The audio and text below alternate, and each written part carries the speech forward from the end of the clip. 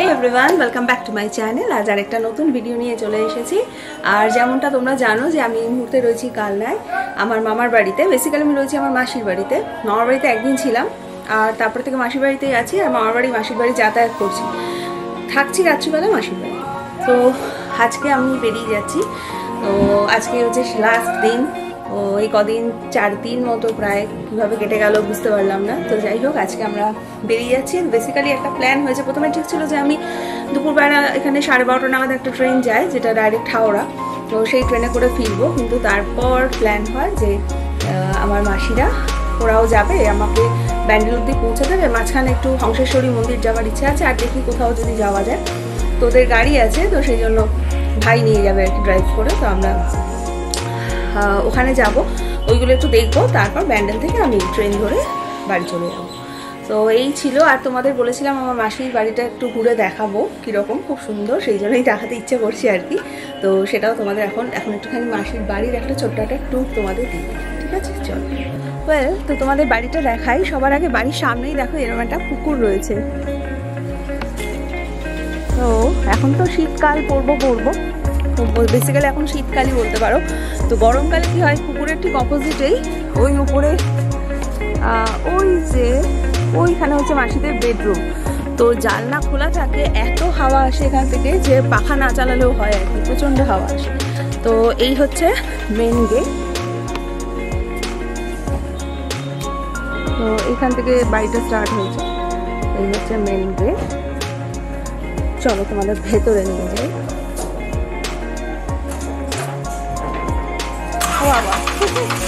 Start দিচ্ছ? তো এইটা হচ্ছে গ্যারেজ।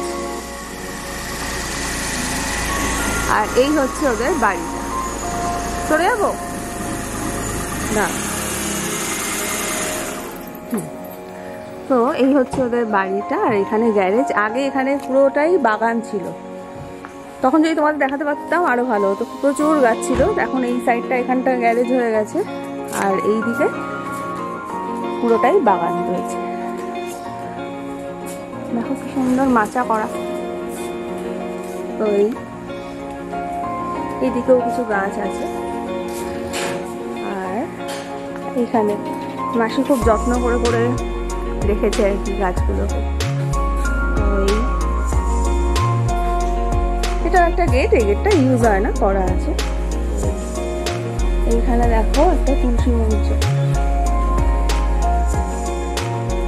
এই হচ্ছে মোটামুটি বাইরেটা।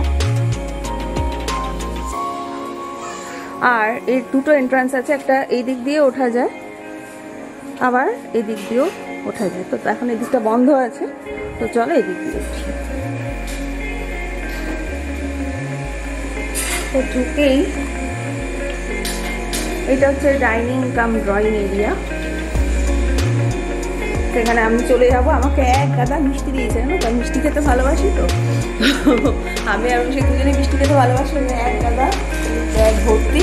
সব মিষ্টি আছে, মামারাও দিয়েছে, আমার দিদা দিয়েছে, মাসি দিয়েছে। তো সেই সব নিয়ে পোটলা পুটলি দিয়ে আমি এবার যাব আর কি। ওই, আর এই হচ্ছে ওর আমার মাসি, এটা হচ্ছে ডাইনিং এরিয়া, খাবার রেডি হচ্ছে, কারণ আমরা খেয়ে দিয়ে বেরোবো। তো এইখানে ওখান থেকে আমরা যেমন বললাম এদিক ওদিক ঘুরবো, তো মাসি একটু চাও নিয়ে যাচ্ছে চা, মিষ্টি, লেবু, কেক এইসব নিয়ে যাওয়া হচ্ছে, ওখানে খাওয়া হবে। মানে আমরা খেয়ে যাচ্ছি, আবার কোথাও একটা যাব। তো কিছু বিকেলবেলা মানে ঘুরতে ঘুরতে একটু বিকেল, দুপুর বিকেল হয়ে যাবে। তো সেই আর কি। আর এখন বাজে সাড়ে এগারোটা, আমরা বেরোবো হয়তো সাড়ে বারোটার মধ্যে বেরিয়ে যাবে। তো তার সব প্রিপারেশান চলছে। তো তোমাদের রান্নাঘরটা ভালো করে দেখাই। এটা হচ্ছে মাসির রান্নাঘর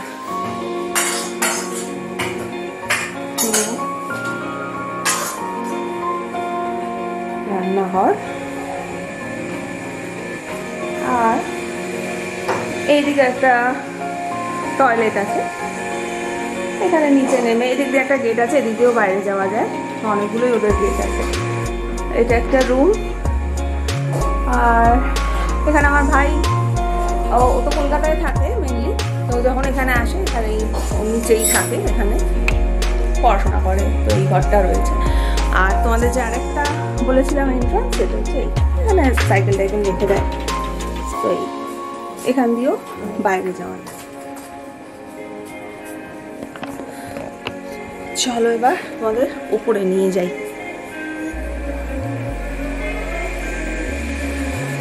তো, এখান থেকে এই যে সিঁড়ি উঠে গেছে। দেখো ভাই আবার অ্যামাজন থেকে এই স্টিকার এনে লাগিয়েছে। কি সুন্দর ওয়ালটা লাগছে তো এই সিঁড়ি মানে এখানে হচ্ছে সিঁড়ি।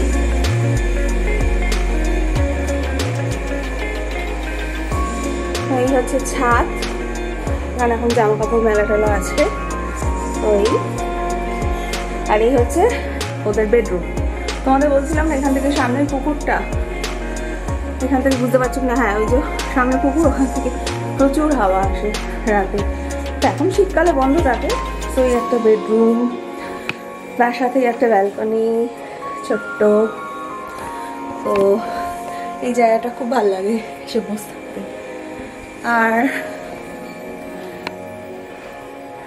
এইখানে হচ্ছে ওর ঠাকুরের স্থান এখানে করে। নিচেও আছে, তোমাদের দেখাইনি এখন অবধি, দেখাচ্ছি। তো এই, আর এইটা আরেকটা ছোট ঘর। আমার ভাই যখন ক্লাস টেন ইলেভেন ইলেভেনে পড়ে, তো তখন ওর পড়াশোনা করার জন্য এই ঘরটা করা হয়েছিল আর কি এক্সটেন্ড করা হয়েছিল। আগে এই ঘরটা মানে এখানেই দেয়াল দেওয়া ছিল। তো পরে ওর পড়াশোনার জন্য এটাকে বাড়িয়ে দেওয়া হয়েছে আর কি।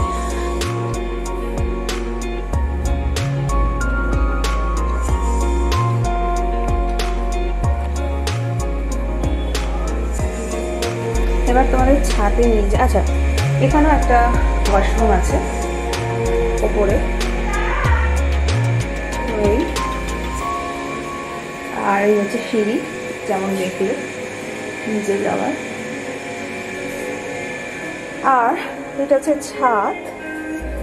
বেসিক্যালি ওরা এই ছাদের উপর আর একটা ছাদ আছে ওদের। এই চলো দেখি, পরে চলো।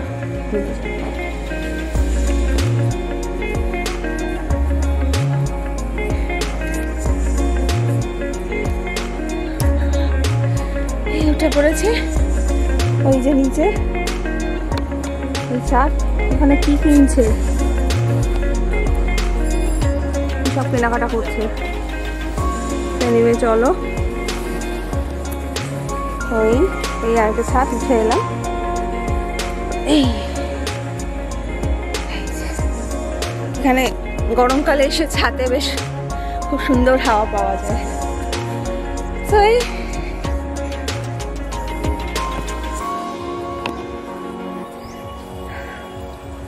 এই হচ্ছে ওর বাগান সুন্দর সুন্দর ফুল গাছ।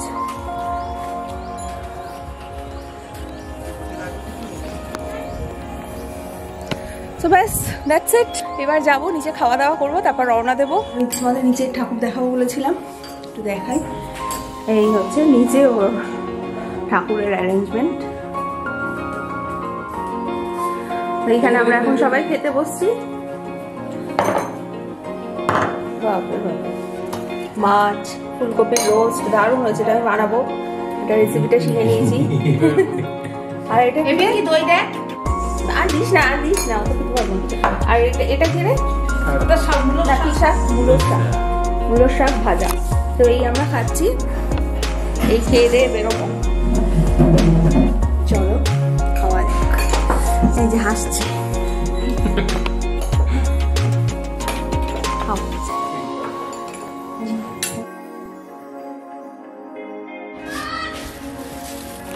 ও মাছ নিতে হবে আমাকে আবার ভুলে যাবে।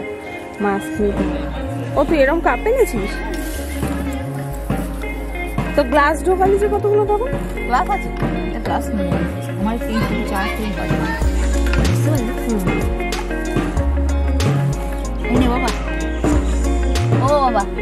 ধরো ধরো ধরো ধরো। তুই নে না।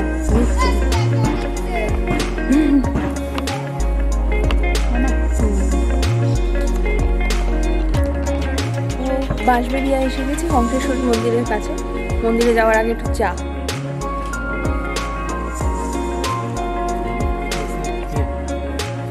হুম? থেকে এসে কে মন্দির থেকে এসে কেক। হ্যাঁ। আবার ধীরে সুস্থ ব্যান্ডেল। এখান থেকে ব্যান্ডেল কতক্ষণ লাগে? একটুখানি। তাও কুড়ি মিনিট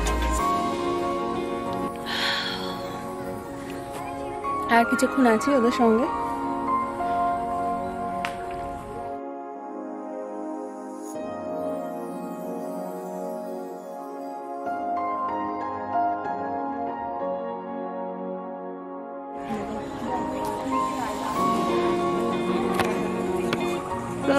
হচ্ছে হংসেশ্বরী মন্দির।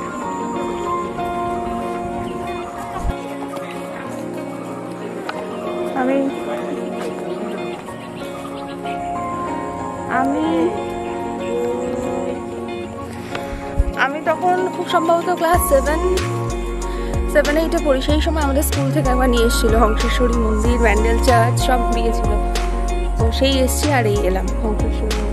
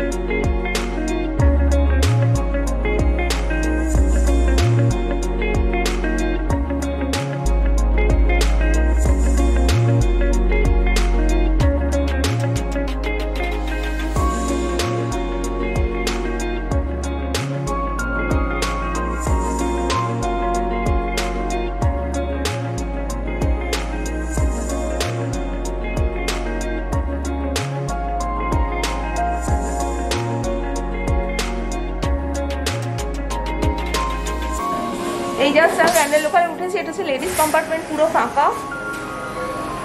তো দেখতেই পাচ্ছ, এখন রওনা দেবো। এখানেই শেষ হলো আমার কালনা ট্যুর দারুণ মজায় কাটালাম কটা দিন। পৌঁছে গেলাম হাওড়া স্টেশন। ভিডিওটা ভালো লাগলে লাইক শেয়ার কমেন্ট করতে ভুলো না। দেখা হচ্ছে পরের ভিডিওয়